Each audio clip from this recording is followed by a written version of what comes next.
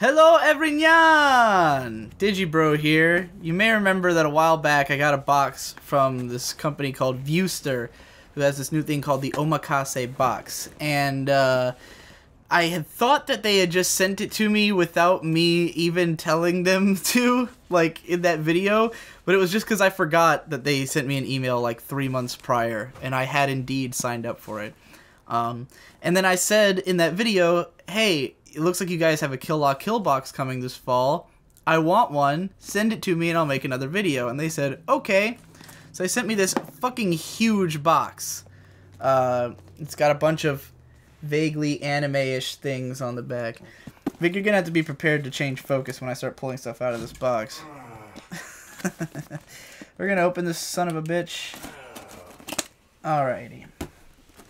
So, big old gift box. It's blue. Alrighty. I already see some, uh, just so happens that they used this picture, which I have on a poster, uh, right over here. You can't see it, but, um, I have this as a poster, and on the back it lists all the, all the goods. So let's see what kind of goods we got here. I like the look of this.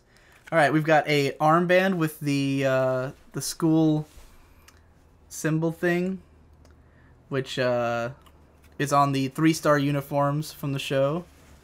So if I want to become Gamagori, I can become Gamagori. see how this feels. I don't really wear wristbands ever.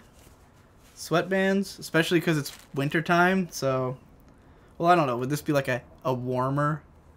Looking at you, Vic. it's funny because Victor's like Victor's like above the camera, but he's looking into the camera, so I looked up at him, but uh, he's just like, where are you looking? Oh my god.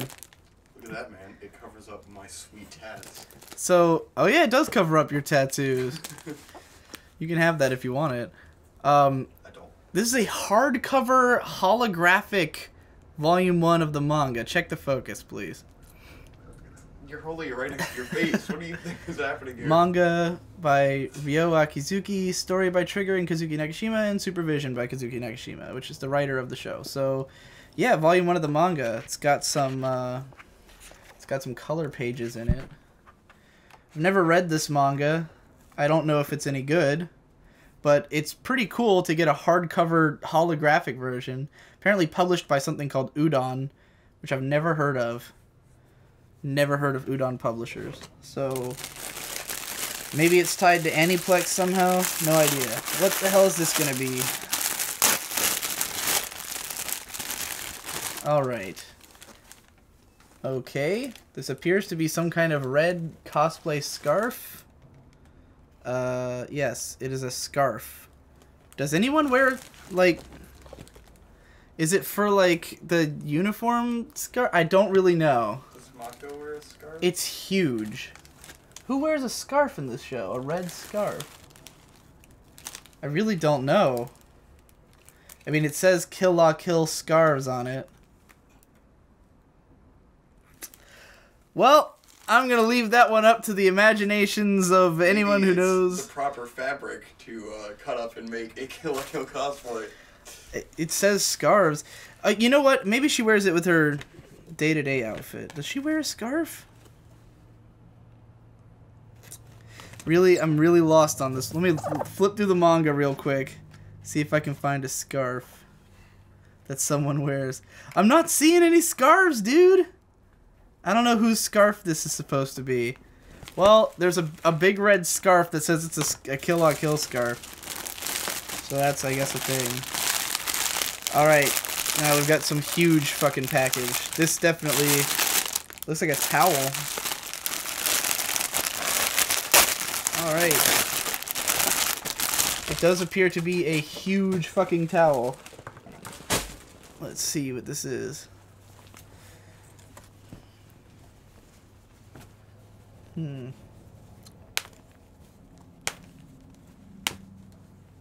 This is like very involved. Jesus Christ. Is this upside down? Alright, this is upside down. Okay. It is a big ass towel of uh Looks like Mako doing her impression of Ryuko. Yeah, it's Mako doing a Ryuko impression.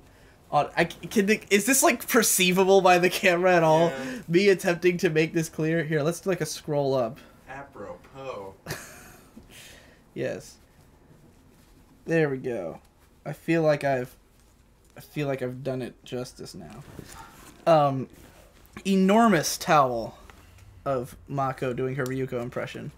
Oh, here we go. There's like a small picture that shows you the whole thing. It made it would have made it a lot easier to comprehend. Anyway, uh that's pretty cool. I'm wondering if this is like Sushio art. This is the kind of thing that you would get at a convention for like sixty dollars. It would be like expensive as shit, and you'd be like, "Why did I pay that much?"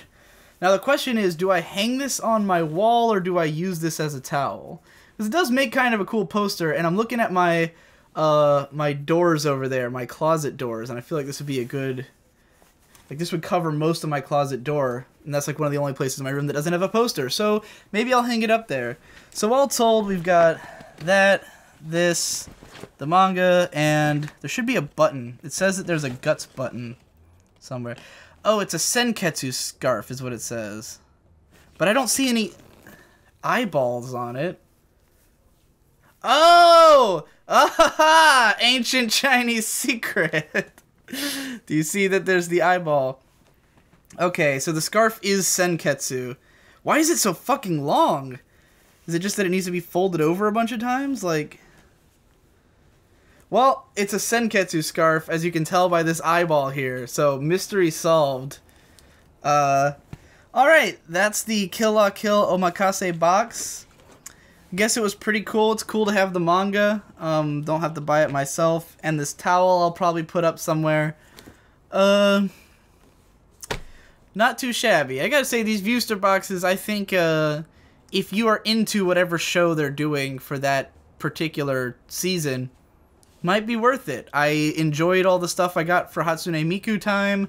I, I, I don't know. None of this is stuff I would buy on its own. I don't know how much it. I think these boxes are twenty five bucks. If you really like, if you like these products, then go for it. You can stop recording me now. I I am done talking.